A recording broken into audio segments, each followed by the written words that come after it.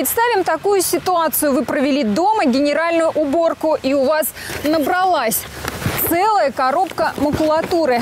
Что мы с ней будем делать?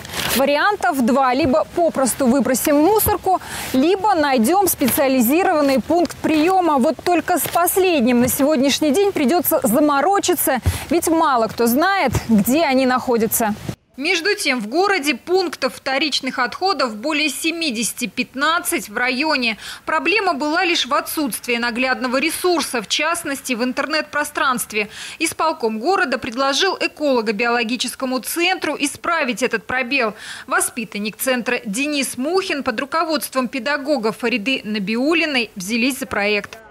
Оранжевый – это ЖП, синий, то есть кругляшок, например, разноцветный процессе разработки к проекту активно подключились экологические предприятия города, занимающиеся сбором и утилизацией бытовых отходов. Семья Дениса. Была проделана огромная работа. Парень выезжал на места, фотографировал, наносил объекты на карту. Примерно месяц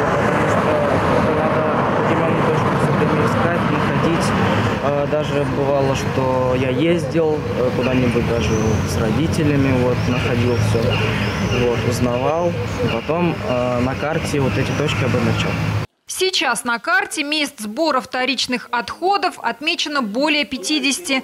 Все видно. Здесь бумага, тут стекло, там пластик и батарейки. Готовность проекта – финишная прямая. Дальнейшие шаги – это э, сделать карту более точный, более понятный для жителей города, а, подключить сюда и а, сельские поселения нашего района, чтобы все, кто, ну, кому не безразлична тема экологии, а, понимали, что те же самые батарейки, те же самые там, газеты, они могут не просто выкинуть в урну и добавить э, экологический ущерб, но с, с пользой в том числе и в финансовом плане для себя, да, утилизировать этот отход.